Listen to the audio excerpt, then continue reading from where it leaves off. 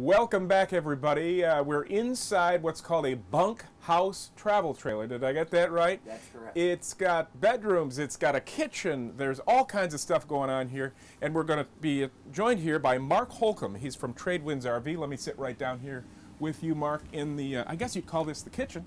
You Correct. sit down here and have a little breakfast, right? That's right. That's right. Tell me about this uh, bunkhouse travel trailer. Begin. Well, the great thing about it is there's two slide outs. Uh, it sleeps up to 10, 12 people, depending upon how, you know, who you're sleeping, how many kids, and how many different adults.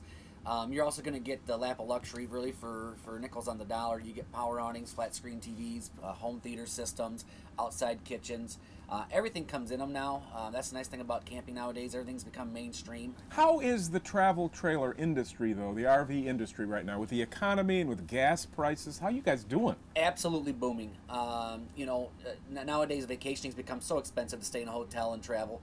But, but you know, with a campground, uh, they're, they're very much like uh, resorts these days. They have everything to them. And then you can get into an RV for the average family, for the working class family, for less than a couple hundred dollars a month. And the interest is tax deductible.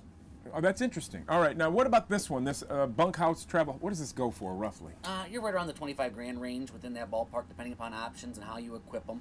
Um, and you know, for an average family, this is about 220 a month, 230 a month, right in there. And the nice thing about it is, is they can use it for multiple nights a month. There's much more you can do with it than just one or two night stays like you do in hotels or even a week long vacation. And we've got the big show coming up later today. It starts, right? Correct. That's the biggest show in this area Yeah. uh, by, by a long shot. It's at the Run Expo Center, and uh, it, of course the hours are two to nine Thursday and Friday, and then of course ten to nine Saturday and eleven to five on Sunday.